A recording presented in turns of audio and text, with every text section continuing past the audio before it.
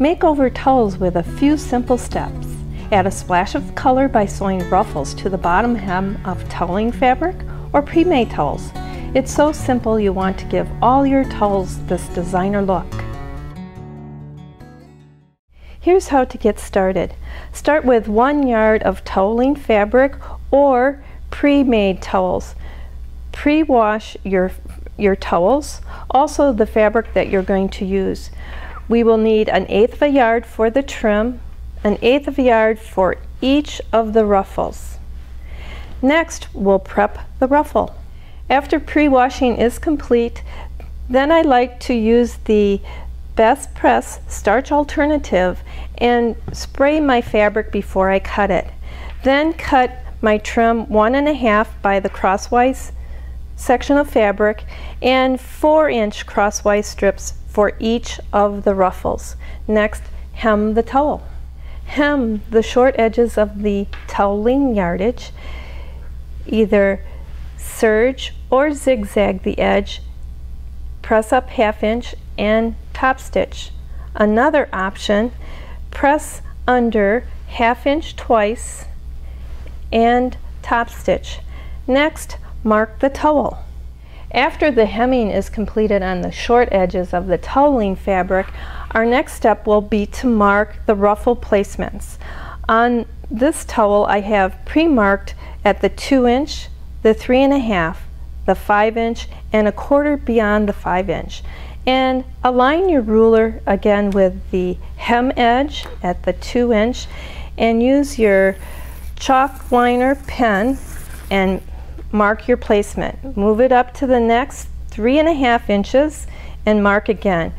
Repeat until you have completed the five inch marking and a quarter beyond the five inch. Next, prep the ruffle strips. My ruffling strips have been cut.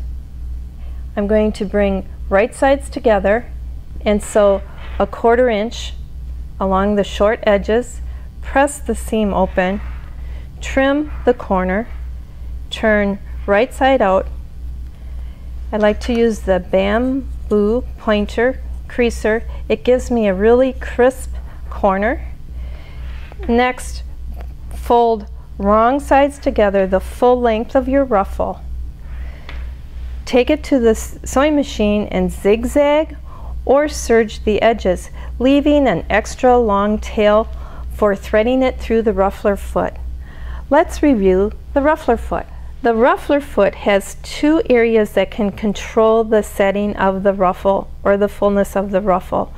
On the top is the pleat fullness lever. It has a 1, 6, and 12. In those different slots at the number 1, that means every stitch a tuck will be made. Number 6, every 6th stitch a tuck will be made. And number 12, every 12th stitch a tuck will be made. Next, we have the pleat depth screw. That adjusts the depth of the tucks. On my storyboard, this showcases that all of the ruffles have been made with a 12 inch strip. These two showcase that every 12 stitch I created a tuck, either a long stitch or a regular stitch length. The next two samples shows that every six stitch I took a tuck using the long stitch length or a short stitch length. Finally, the bottom two samples show that I take a stitch every stitch, either a long stitch or regular stitch. On my sample that I completed, I used every stitch and long length. Set the sewing machine for a straight stitch, needle in center needle position. Raise the take-up lever as high as it can go. Attach the ruffler, fitting the fork arm over the needle clamp screw. Clear the needle and tighten the screw on the presser bar.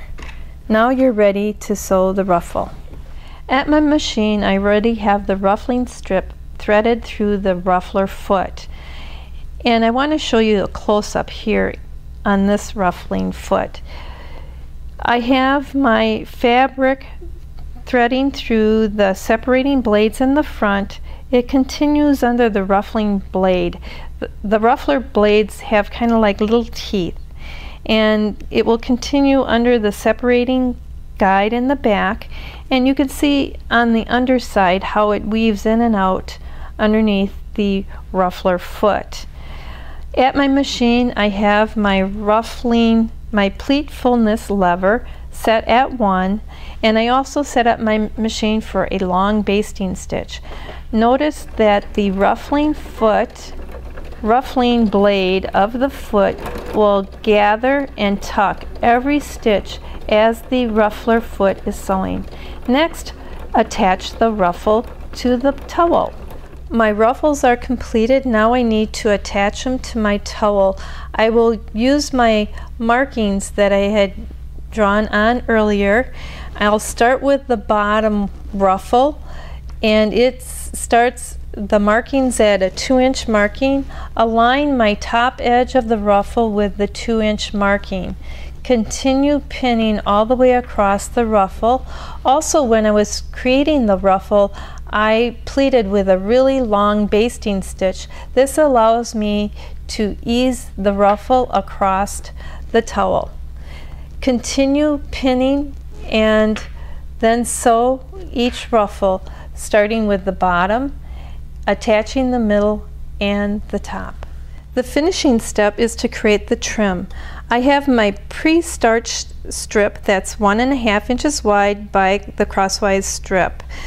I'm going to cut a tapered end because I'm going to be inserting it into my 3 quarter inch bias tape maker. I'm advancing the fabric with a needle or pin and now simply press and the starch gives me a really crisp edge on my tape when I'm done. After completing the pressing, measure the distance across your towel and add a half inch. At each end, open up and fold under and press a quarter inch at each end to give you a really nice clean finish for your trim. Align your trim on the quarter inch marking and pin in place and the very last step you have to do to complete your towel is edge stitch on both sides of the trim.